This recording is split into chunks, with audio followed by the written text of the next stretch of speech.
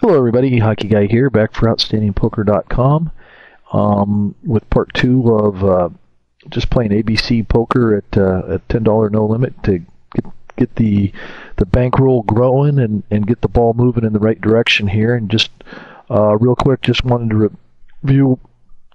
Uh, three things that we'll be looking for in, in this portion of the video is, is card value, position, and being the aggressor.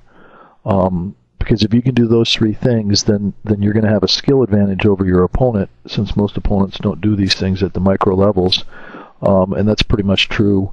Um, at, at, least up through the uh, $50 no limit level, that the majority of your opponents are not doing these three things correctly. So if you can, you you should be able to uh, to uh, be able to beat these games pretty easily. Um, and again, I would just uh, refer everybody to Tim's first videos that our first 10 videos there, because um, that's really where um, watching those I learned from him and his explanations of why these things are so important. And mostly, I just want to focus on this video and, and actually doing them, and because uh, uh, I don't I don't think that that really anybody can improve on his explanations, and so I'm not certainly going to try. So with that, we'll just uh, quickly jump off to the tables. Hello, everybody. Hockey Guy here, back for OutstandingPoker.com, and uh, part two here, I think, in the uh, ABC uh, Poker uh, $10 No Limit uh, video series. And uh, I've just sat down here at a couple tables, and this is my second hand on the left table. I, I went ahead and started the recording because it's always nice to start with aces.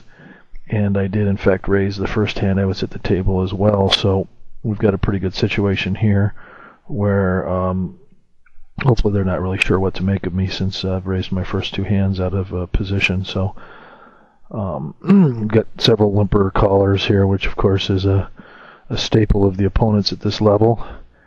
And now we're just gonna we're just gonna get it in here. Um, if he outdrew me, then uh, so be it. But uh, and there you go.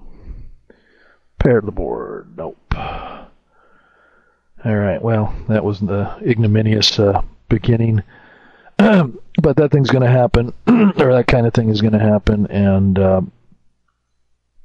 we'll just uh, move on there. Um, not surprised. Oh, I guess I gotta. I guess I gotta reload here after that uh, little adventure. Um, and it, it can be frustrating, but again, you just got to recognize in, in, the long run you're just going to crush that guy because if he hits his king or his eight, he's never going to fold really, um, and you're going to win in the long run. He's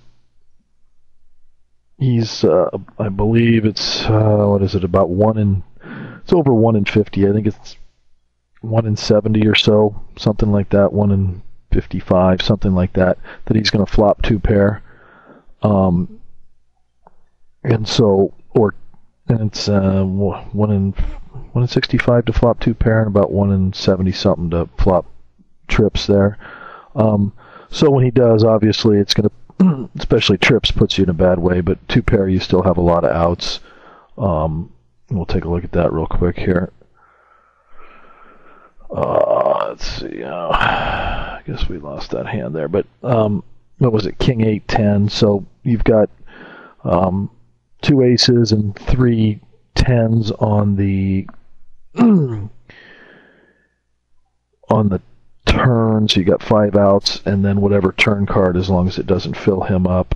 Um, we'll get the other table going here too.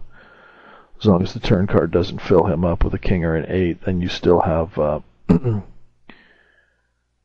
outs on the river, you'd have the five outs plus three more for whatever card came on the turn. So you're not in great shape, but you're not